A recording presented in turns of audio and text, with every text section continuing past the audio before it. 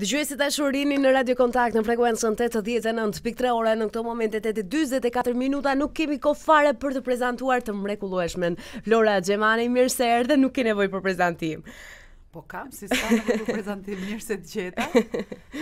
të falënderoj shumë që më bëre ta filloj javën në një prej vendeve që dua më shumë pikërisht në radio. Faleminderit. Sepse radio është një Dashuri pa fund edhe mendoj jo vetëm për mua, po për shumë njerëz që pëlqejnë të bukurën. është e vërtetë. Në fakt, teksa përmendet emri yt, është doemos në lidhje të drejtpërdrejtë dhe turizmi dhe vendet e bukura dhe vendet e mrekullueshme që Shqipëria, që Shqipëria ka, duhet thënë. E ndërsa Turizmi veror që kemi lënë pas stina e verës, turizmi dihet që tanimë ka marrë një shuplakë të fortë nga COVID-19, është gjunjëzuar nga COVID-19, po ashtu jemi afër sezonit dimëror, kanë rënë këtë fundjavë reshjet e para të dëborës përkatësisht në qytetet e Korçës, e Voskopojës, në Brezovicë.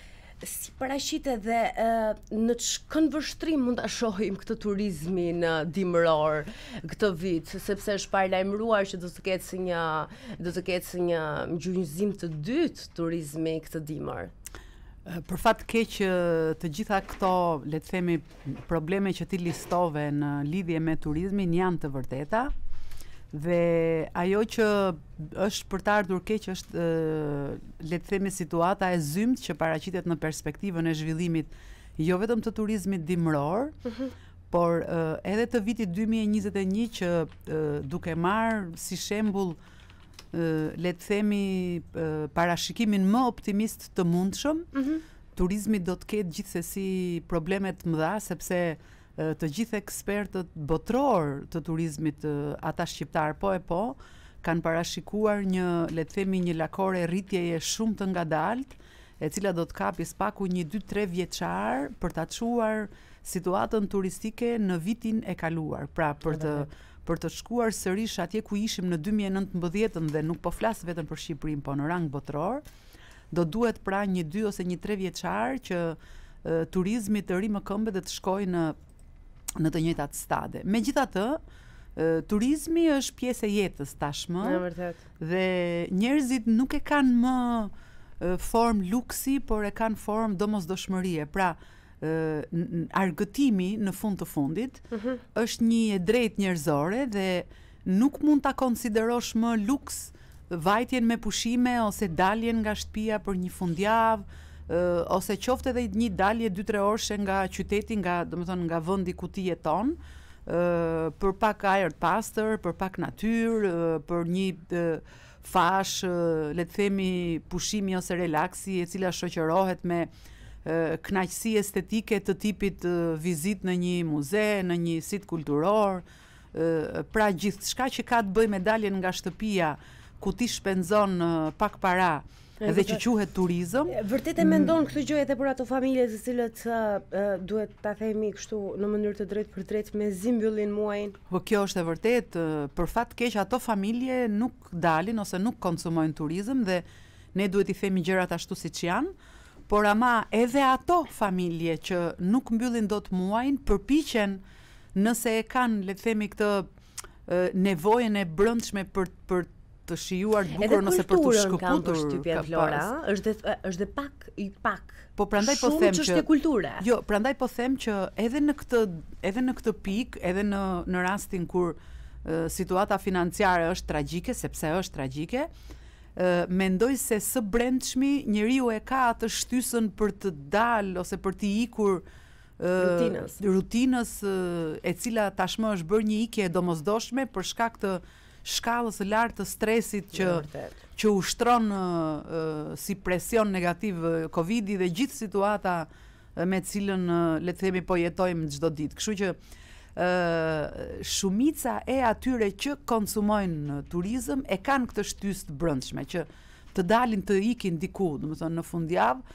sado që e, nuk nuk kanë pra para mjaftueshëm për për mhm. për ta konsumuar këtë fundjavën. Prandaj gjenden alternativa të shkurtra, merren fëmijët, dilet jashtë qytetit, qoftë edhe për një ku di unë, për një xhiro në park, qoftë edhe te kodrat e liqenit, qoftë edhe për një piknik të thjeshtë. Domethënë, E kemi çuar nevojën e turizmit në në nevojat bazë. Pra, le të themi që nëse ti ke mundësi të shpenzosh, gëzon akoma për fat të mirë një punë diku, mm -hmm, mm -hmm. po në administratë, në institucion, në banka, në kompani të cilat janë aktive mjaftueshëm, pra nuk po mhm. flasim për vetë turizmin sepse turizmi siç është argëtim është edhe industri. Dhe në momentin që e konsiderojmë industri, hajde të flasim për goditjen e madhe që ka marrë, që vazhdon, domethënë të ushtrohet në mënyrë konstante, sepse vërtet mbyllëm një sezon veror të çuditshëm, por i cili në një farë mënyre funksionoi. Funksionoi? Po, funksionoi për një pjesë të mirë të hoteleve të bregdetit, hoteleve dhe restoranteve, kuptohet pra hotele, mm -hmm. restorante, bujtina, shtëpi me qira, mhm. apartamente, madje edhe për pjesën rurale, ku zhvillohet agroturizmi, turizmi i natyrës, i mhm. aventurës, të gjithë këtë pjesë pra që konsumon tashmë Shqipëria e mhm. brëndshme, e gjelbër, u punua, por u punua me sforco të mdha, Sepse duke qenë se munguan turistët e huaj, ata që mbushin Shqipërinë rurale, ajo qershia mbi tort, tamam. Mund t'i quajmë. Ëh, u punua në fundjavë me familje shqiptare, ndërkohë që bregdeti punoi kryesisht me turistët e ardhur nga Kosova dhe Maqedonia dhe me një pjesë të vogël të turistëve të huaj që erdhën me charter nga vetëm një ose dy kompani të mhm. cilat kanë filluar pra këtë aktivitetin e turizmit all inclusive. Ë megjithatë nuk e kaloi 35%-shin fluksi i vizitorëve. Mm -hmm. Ndërkohë që nëse do flasim për të ardhura pra me me me shifra, ë u gjenerua vetëm diku tek 25-30% gjithashtu e të ardhurave që ne gjenerojmë zakonisht në vit, domethënë që ka shkuar një shifër diku tek rreth një miliard e 800 milion ose rreth 2 miliard po t'i rrumbullakosim dhe sivjet erdhën në ekonomi vetëm 500-600 milion euro që do mhm. thotë na mungon rreth tre çereku i të ardhurave të përvitshme. Fatkeqësisht, por në këtë rast ne mund të ngushëllohemi me atë shprehje më mirë pak se aspak. Po, sepse e, nuk u shpresua, parashikimet ishin mjaft të zymta dhe të gjitha bizneset turistike thanë që nëse do kemi një 30 për qind të fluksit, do jemi të kënaqur të heqim një mhm. pjesë të shpenzimeve. Sezonin veror e quajtët të çuditshëm, ndërkohë sezonin dimror si e parashikon Flora? Atëherë, sezoni dimror ka një impakt shumë më të vogël në ekonomi për fat keq në Shqipëri, megjithëse paradoksalisht Shqipëria është 70% male, pra gjeografikisht ne duhet kishim një sezon dimror të shëndetshëm dhe një sezon veror të, të moderuar ose të konsiderueshëm. Ndërkohë që ne nuk kemi struktura të mirëfillta të turizmit dimror ku të përfshijmë resorte skish, për shembull, nga ato masive që tërheqin të gjithë turistët dimrorë.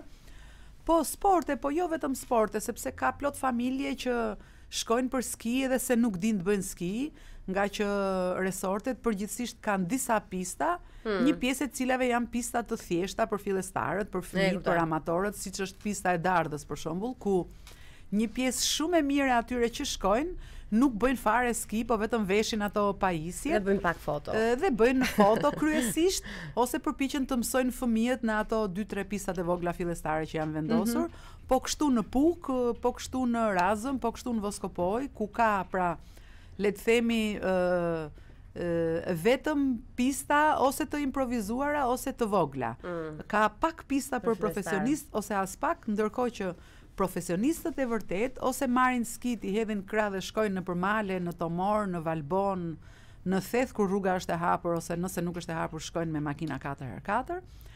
Pra situata dimërore përkufizohet vetëm në hotelet, bujtinat ose resortet e fshatrave dimëror si Dardha, Voskopoja, Razma, mhm. Valbona, mm -hmm. Puka për fat mirë hyn tek turizmi dimëror, ku ti shkon, pra qëndron në një hotel ose në një bujtinë, kalon atë darkën e këndshme me miq, me një gotë verë, me ca gështenja të pjekura, mm -hmm. me atë darkën karakteristike dimrore. Pra mhm. karakteristike mm -hmm. dimrore, gjë që ti mund ta bësh kudo në një shtëpi me një oxhak me zjarr, mblidhesh me miq edhe kalon darkën në mënyrë të këndshme. Është vërtet. Ë megjithatë nuk janë për t'u hedhur poshtë. Pra ë qoftë edhe për të ndryshuar, le të themi, atmosferë, kjo është një mënyrë shumë e mirë për të kaluar një fundjavë dimrore, sepse kjo pastaj shoqërohet me ë shëtitje nëpër borë, një shëtitje me kuaj, nëse do marrin fshatrat e juglindjes, të Korçës. Po dhe Përmeti ka hyrë në këtë, le të themi në këtë listën e turizmit jo dimëror, po gjithëvjetor më shumë. Puka gjithashtu, Valbona, Razma, Lëpusha, Vermoshi, pra gjithë pjesa e Malësisë së Madhe, sepse zona e Kelmendit kryesisht, por edhe Shkreli, Shkreli ku hyn Boga, Reçi, këto fshatra domethënë që kanë filluar të frekuentohen. Të njihen. Të njihen, patjetër, dhe në qoftë se bie borë, po të jetë rruga e hapur, që gjasat më të mëdha janë që rruga të jetë e hapur pikërisht në këtë pjesën e veriut pra të Malësisë Madhe, sepse mhm. duke qenë se rruga është asfaltuar, është më e thjeshtë ta hapësh, pra ta pastrosh, ta mbash në, në qendje pune, le të themi, mm -hmm. dhe pastaj fshatrat e Lëpushës dhe të Vermoshit, kryesisht por edhe qendra që është Tamara, janë një mundësi shumë e mirë pra për të bërë këto fundjava dimrore. Në fakt Flora e dashur muaji nëntor njihet ndryshe si periudha ku bëhen më shumë rezervime sa i takon festave të nëntorit dhe të fundvitit. Si shikon rezervimet në këtë periudhë kohe? Ëm ehm, um, Në dijeninë Shiko, tënde gjithmonë. Deri tani nuk ka rezervime siç ka pasur dikur. Për shembull, të gjitha qytetet turistike që frekuentohen gjatë gjithë vitit, siç është Korça, për shembull, mm janë janë pothuajse të prenotuara në këtë periudhë, pra për festat e nëntorit. Ndërkohë që tani nuk ka ndodhur kështu, Pra, nëse ti do marrësh një hotel në Korçë, fjala vjen, mm -hmm. do mhm. do gjesh pra dhoma të lira patjetër. Dhe kjo ndodh edhe për shkak të situatës financiare, pra le të themi kemi ne ne shqiptarët kemi një vit që nga rënia e tërmetit të 26 nëntorit që situata shkon vetëm poshtë, pra vetëm me minus dhe kjo gjë le të themi ka ndodhur duke filluar që me Tiranën, Durrësin, Krujën që në fakt ë janë edhe qendra e ekonomisë së Shqipërisë. Pra këtu lëvrohet 70% e e të ardhurave që shkojnë në buxhetin e shtetit dhe duke qenë se është kështu, ë kjo është një situatë që ka ndikuar dhe vazhdon të ndikojë, domethënë në xhepin e secilit. Kështu që diçka do lëvizë patjetër, nuk diskutohet që në këtë fundjavë pra që jemi që kemi përpara mm -hmm. që mhm. janë festat e nëntorit, njerëzit do lëvizin, do shkojnë për fundjavë me pushime. Ajo që unë do të sugjeroja pavarësisht situatës tragjike, le të themi që na po na ofron Covidi në këtë periudhë, mm -hmm. është që uh, edhe në Kosovë është mirë të shkohet, sepse duke qenë se uh, le të themi turistët uh, shqiptarët e Kosovës sepse unë nuk dua t'i them kosovarët pavarësisht se mhm. kjo është një shprehje që përdoret për shkurtim dhe jo për t'i vënë një uh, një le të themi një nacionalitet uh, të ndryshëm nga të qenit shqiptar. Pra shqiptarët e Kosovës dhe të Maqedonisë, pushimet e tyre verore erdhën dhe i bënë në Shqipëri, siç kanë bërë në fakt çdo vit, por në qoftë se në vitet e tjera kemi pasur një dorë edhe nga turistët e huaj të të gjitha llojeve, pra grupet kulturore, grupet me charter, grupet me me rulota ose ky ky këta turistët që quhen ë turistët karavan turist, ok? Mm -hmm. këta të gjithë le të themi kanë ndikuar secili në mënyrën e tyre për të bërë atë të, të, të përgjithshmen, por ama baza kryesore, pra 35-40% e fluksit kanë qenë gjithmonë turistët shqiptarët e Kosovës dhe të Maqedonisë, Kështu që në këtë pikë ne duhet patjetër që t'i le të themi t'i kthejmë borxhin. Fiks sa doja ta thoja. Dhe është radha jonë. Është radha jonë që t'i kthejmë borxhin dhe Kosova dhe qytetet shqiptare të Maqedonisë kanë aq shumë destinacione sidomos dimrore. Për shembull, edhe Mavrova që le të themi është një destinacion që ne ia ia atribuojmë Maqedonisë, një pjesë shumë e mirë e hoteleve janë me menaxhim shqiptar. Pra, janë shqiptarët ata që i kanë, shqiptarët e Maqedonisë, kuptohet. Gjithashtu Tetova me Kodrën e Diellit që është prap një destinacion dimror ku ka resorte skish, është një le të themi një destinacion shumë i mirë, edhe se s'ka filluar ende dimri mund të shkohej dhe mund të shkohet edhe për destinacione vjeshte, sepse ka natyrë shumë të bukur, gjithashtu Kosova me le të themi me dy pikat e saj kryesore, pra me dy destinacionet madhështore natyrore siç janë Bjeshkët e Rugovës dhe Bjeshkët e Sharrit, mm -hmm. janë destinacione ideale edhe për vjeshtë, jo vetëm për dimër, pavarësisht se tani që ktheu klima mund t'i rekomandojmë pra si destinacione dimrore, në Bjeshkët e Sharrit në Dragash në Brod që është një le të themi një vijë shumë e mirë që niset nga Prizreni, mm -hmm. Brezovica gjithashtu që është pjesa tjetër po e maleve të Sharrit me nisje nga Prizreni ose me qëndrim në Prizren, në qoftë se nuk doni të qëndroni në në le të themi në destinacionet natyrore përkatëse, por edhe bjeshkët e Rugovës mm. me qëndrim në Pejë ose edhe me qëndrim le të themi në në Rugovë janë një alternativë shumë e mirë edhe për këtë fundjavë. Pra jo vetëm për Prishtina pastaj që është cool fare, është një është një nuk e di, Prishtina është një dashuri më vete që ne e frekuentojmë relativisht shpesh në raport me Dhe gjëja që më bën më shumë përshtypje realisht teksa shkoj në Prishtinë është fakti që qytetarët e Prishtinës kanë një respekt të jashtëzakonshëm për ne shqiptarët, edhe pse jemi shqiptarë, po, për shqiptarët e Shqipërisë. A je prej Shqipniet. Kështu që kjo është kjo është gjëja më po, e bukur. Të qenit, të qenit turist në në Kosovë nga Shqipëria ka një konotacion pozitiv është e vërtetë të shtuar domethënë jo vetëm fakti që ti je turist vetëm se ka diçka që ne shpesh herë e përcjellim me humor ose me një ironi të lehtë që në qoftë se turistët e Kosovës kërkojnë vazhdimisht skonto kudo ku shkojnë në gjithë bregdetin duke filluar edhe nga recepsioni i hotelit ose marketi, pra vende ku nuk kuptohet, nuk konceptohet dot të bërit skonto, në Kosovë nuk ekziston koncepti i skontos. Pra ti do paguash aq sa kushton dhoma e hotelit, pa ndërmjetësime, pa ndërmjetësime, po. Megjithatë, Mendoj se kjo është një mënyrë e të bërit ekonomi e tyre dhe ekziston pra mundësia le të themi në gjithë bregdetin dhe në mënyrën si zhvillohet turizmi veror me atë rrëmujën e tij të bukur. Kështu që prandaj dhe ndodh besoj kjo. Është e vërtetë, është, është e vërtetë. Mirë. Flora, mbetemi ngelemi tek pyetja e fundit. Në fakt, të gjitha këto destinacione që sugjerove për dëgjuesit tanë. Kam përshtypjen që gjithsecili nga ta pyet a janë të kushtueshme dhe cilat janë ndër vendet më pak të kushtueshme që mund të kalojmë pse jo një fundjavë apo dhe fundvitin ose festat e nëntorit, meqënëse i kemi më pranë. Shiko tani, në qoftë se duhet patjetër që të kemi një shifër, Ne nuk e themi dot këtë shifër, ama në qoftë se do t'i hedhësh një sy ofertave të cilat gëlojnë tani në Facebook, mm. sepse secili le të themi subjekt turistik e ka e, si synim kryesor që ta mbushë hotelin, restorantin për fundjavat e festave dhe mm -hmm. secili ka bërë ofertën e tij.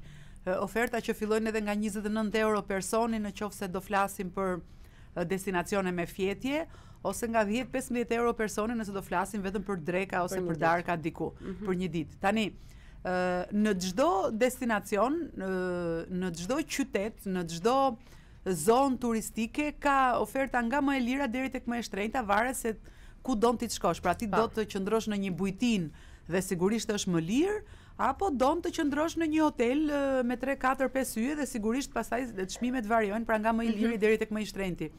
Është le të themi është e vështirë që të klasifikosh çmime dhe të dalësh me shifra konkrete në një kohë kur e thashë mjafton që t'i hedhësh një sy internetit, Facebookut mm -hmm. apo Instagramit dhe do gjesh nga më të ndryshme. Edhe pse në fakt vendet janë të shumta në Shqipëri, por realisht është pjesa tek ne shqiptarët, tek të gjithë ne, sidomos në këtë periudhë të vështirë koha është pjesa sa kushton, sa është fjetja, sa është dreka, jo, sa është. Jo, kjo është shumë e vërtetë, por unë sapo e thash që pikërisht ka...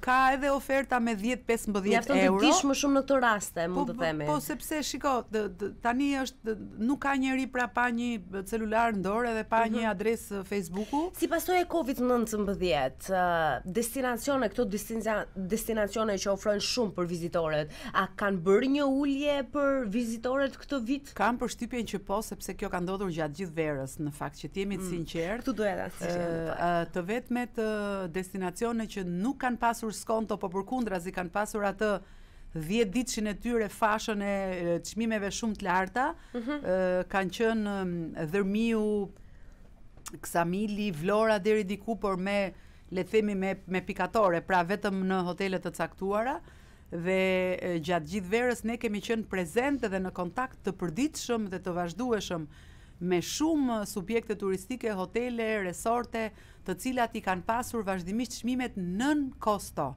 Dhe kur them nën kosto, kjo ka qenë një situatë shqetësuese sepse duke qenë se ti shkon me një ofertë që është nën kosto, mm -hmm. i krijon përshtypjen pushuesit se ti nuk ke pra ose s'ke njerëz ose ke një ushqim i cili të bën të dyshosh ose oferta jote ka diçka që nuk shkon dhe nuk di si të sillesh në këtë po, moment po është e vërtetë prandaj po them që gjatë gjithë kësaj periudhe çmimet kanë qenë në kosto ose nën kosto. Lirë nuk mm -hmm. diskutohet që po. Është pastaj le të themi mungesa e financave, pra mos pasja ose e, e, gjendja jote e keqe financiare që të bën ty ta mendosh që edhe kaq është shtrenjtë, mm -hmm. por që në fakt nuk është shtrenjtë, sepse e, paradoksi midis e, ofertave të shumta turistike dhe xhepit gjithnjë e në zbrazje të mhm. vazhdueshme, ka qenë kjo që ka krijuar edhe le të themi edhe situatën e krizës ku shumica nuk shkuan fare për pushime ose një pjesë e mirë nuk shkuan për pushime dhe edhe ata që shkuan nuk konsumuan si vitet e tjera. Fjala vjen restorantet e kanë ndier shumë këtë le të themi krizën sepse edhe ai që shkoi për të konsumuar një drekë aty mm -hmm. nuk le të themi nuk prishi lek si në vitin e shkuar me peshk, me mm -hmm. mish, me ku di unë, po peshkun e zëvendësoi me mhm. picë, picën e zëvendësoi me një sallatë, fëmijëve, fëmijët i gënjeu me një patate e kështu me radhë, vetëm për të për të krijuar atë atmosferën që kemi shkuar për të ngrënë jashtë. Kështu që këto janë të vazhdueshme edhe tani madje financat shkojnë gjithmonë më poshtë sepse për një hotel në Tiranë fjala vjen ose në qytet, mm -hmm. sepse hotelet e qytetit, agjenci turistike, tur operatorët e mëdhenj, udhërrëfyesit të kompanitë e transportit turistik, domethënë një pjesë që përbën gati gjysmën e kontigjentit turistik në qofë se do flasim për këtë mm -hmm. sektor si në ekonomi, vazhdojnë të jenë në krizë të thellë dhe nuk dihet se deri kur do të mund të mbajnë akoma me financat e tyre të një viti më përpara, sepse gjithkush le të themi kështu tashmë po tret dhjamin e vitit të kaluar dhe nuk dihet ende edhe sa dhjam ka mbetur. Ndonjë krah nga qeveria e kanë thua? Jo, absolutisht asnjë lloj krahu pra, se për fat keq. Fare se s'kemi shumë minuta. Nuk ka nuk kanë pasur asnjë lloj ndihme përveç bizneseve të mëdha që ndoshta kanë pasur një kredi pezull edhe mm -hmm. janë detyruar të marrin një kredi tjetër për të paguar këto këste ose kanë shtyr vetëm fitimin po jo këstin, pra kanë shtyr kamatën po themi janë ngrirë për një vit tatim fitimet, por nëse ti nuk ke fitim, nuk mund të kesh as tatim fitim, domethënë. Dhe bizneset që kanë qenë realisht në vështirësi nuk janë ndihmuar fare. Domethënë ajo rroga e luftës u mor një herë ose dy herë vetëm nga një pjesë e këtyre bizneseve ose individëve dhe tani është harruar dhe duke kur në momentin kur u hap, sepse hotelet kanë pasur dhe një problem që janë konsideruar biznese që mund të punojnë, agjencitë, hotelet dhe shumica e tyre nuk kanë marrë as atë rrogën e luftës sepse Është konsideruar pra një biznes i i i lirë për të punuar Shumë- ndërkohë që s'kishte qarkullim. Shumë e vështirë në fakt, një situatë tejet e rënduar sepse ë, nëse Është nëse një do situatë që unë përmendim- nuk desha ta cek fare, pikërisht për shkak Është e vërtetë, është e vërtetë. të atmosferës për të cilën kemi nevojë, pra kësaj atmosferës me pak optimizëm, me si me thënë me një ikje nga realiteti sa të jetë e mundur, sepse Realitetit nuk i iket në fakt duhet të përballesh me të, por në këtë rast edhe mund të po ja dalim, kështu që po në një farë mënyrë ose për të marrë gjallë akoma. Për të marrë vite më të mira, kjo është çështja. Shpresa e madhe është që meqense po flitet shumë për të famshmen vaksinë, e cila në vende të ndryshme të Europës do fillojë në mes të dhjetorit. Mm. Ëm dhe nëse vazhdon pra ose në fillon nëse fillon të përdoret mes të dhjetorit dhe vazhdon për një periudhë një mujore, diku nga mesi ose fundi i janarit bashkë me rritjen e numrave duhet fillojë edhe ajo lakorja ose kurba e rënies sepse ka një rënje të lehtë nëpër Europë, mm. që po ndiqet me shumë kujdes dhe vëmendje që nëse fillon pra kurba e rënies, Le ta shtyjmë në parashikimin më pesimist të mundshëm deri nga marsi duhet kemi marrë veten edhe duhet fillojnë lëvizjet e para turistike, mm, mendoj. E kuptoj, e kuptoj. Mirë, për ta përfunduar fare fare fare këtë bisedë.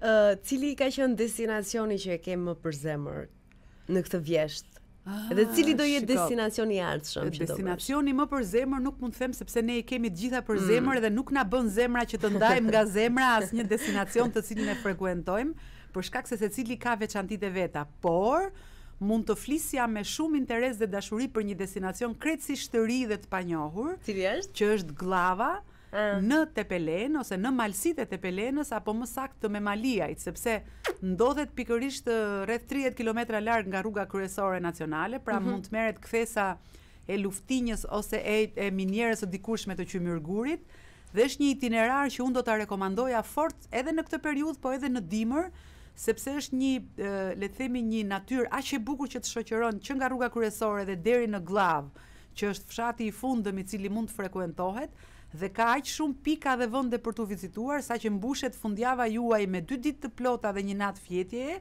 në mos po edhe me dy net fjetjeje, domethënë Dhe nuk është shumë e kushtueshme kjo. Jo, nuk është aspak e kushtueshme, mm -hmm. po të mos llogarisim vetëm transportin dhe fjetja mund të jetë bashkë me personin diku te 30000 lekë dita, domethënë është me gjithë vakte, domethënë mm -hmm. që Është një destinacion relativisht i lirë në raport me shumë destinacione të tjera, por ajo që është e bukur pra është veçanësia ose risia, sepse është një vend fare i panjohur dhe në fakt vende të tilla ka plot, por duhet që dikush të hapë një bërthamë agroturistike, që është një bujtinë në rastin konkret, ë për t'i dhënë shpirt që t'i dhën që t'i jap shpirt vendit pikërisht kjo pra që mhm.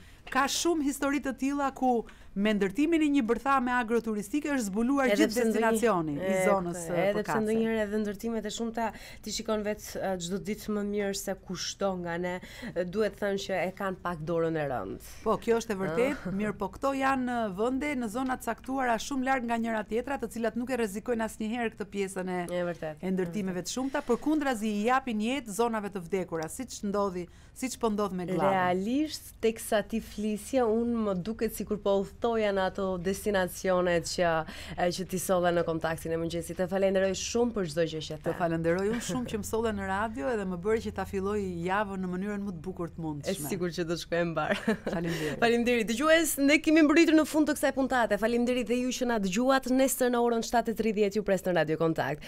Kalofshi një ditë të bukur dhe një javë të mbarë.